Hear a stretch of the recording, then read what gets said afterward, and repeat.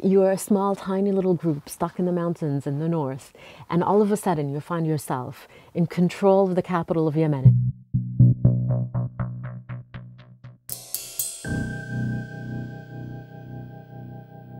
To me, what stood out the most, I think, for, in trying to understand the Houthis, going up to Sa'ada, going up to the mountains of Marran, where the first war uh, was waged, uh, going to see old Sa'ada town that's com- still completely devastated.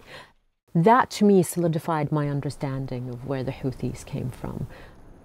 The Houthis believe in their divine victory, yeah. Like you're a small, tiny little group stuck in the mountains in the north, and all of a sudden you find yourself in control of the capital of Yemen and most of north of Yemen, and, and now they are in Aden. I mean, my God, I mean, eh, you have to believe in God with that, yeah. They, their understanding of their mission of where they've come from and why been, they've been able to succeed plays a big role in that. And, and to see where they came from, really, uh, you, you, you understand the psyche, how, how they see themselves as this, uh, this chosen group that will bring change to Yemen. And they've been able to do it so far. Whether the change is good or bad, that's completely, you know, irrelevant to them. But they see themselves as, as, uh, as, uh, uh, as a victorious group that has won against all odds.